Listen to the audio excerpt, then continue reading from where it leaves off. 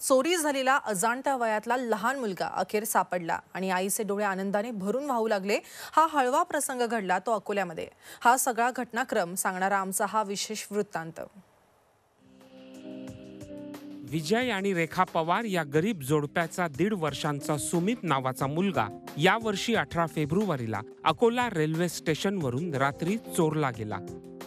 तेव्हापासून ही माय आपलं लेकरू परतण्याची आस मनात बाळगून होती आणि अनेक विघ्न पार करत सुमारे पाच महिन्यांनी सात जुलैला या माय लेकाची भेट झाली.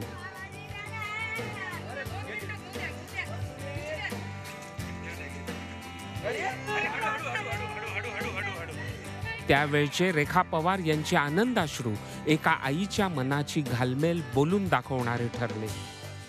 मायपचे बाबा भाड्याला तिकीटले पैसे नव्हते आम्ही. असे आलो.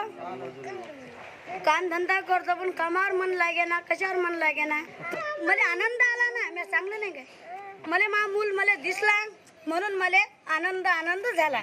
अठरा फेब्रुवारीच्या रात्री गीता मालाकार या भिकारी महिलेनं सुमितचं अपहरण केलं होतं. सहा मे रोजी संशयावरून गीताला अटक केल्यावर सारा प्रकार उघड झाला. खेड्यामध्येच राहणाऱ्या एका महिलेनी अकोला रेल्वे स्टेशनकडून या मुलाला अपहरण करून आणलेलं आहे आणि ती चंद्रपूरला निघून गेलेली आहे. तात्काळ त्या मुलाला ताब्यात घेऊन गणेशपेठ पोलीस स्टेशनला लेखी तक्रार दाखल केली.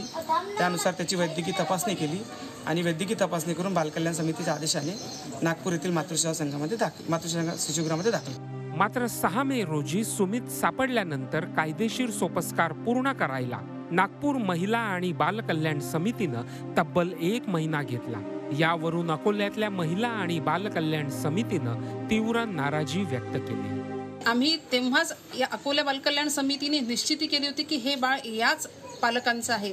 परंतु अक्षम्य या दिरंगाईमुळे एका आईपासून एक बाळ इतके महिने मातृप्रेमाला पारखं झालं आणि आईसुद्धा अक्षरशः वेड लागण्यापर्यंत आईची पाळी आली आहे. काळजाचा तुकडा परत मिळाल्यामुळे रेखा पवार यांना आभाळ ठेंगणं झालंय. तर लहानग्या सुमितच्या चोरी मागे एखाद्या मोठ्या टोळीचा हात नाही ना याचा तपास पोलीस करत आहेत. Jayesh Jagad Zee media Akola.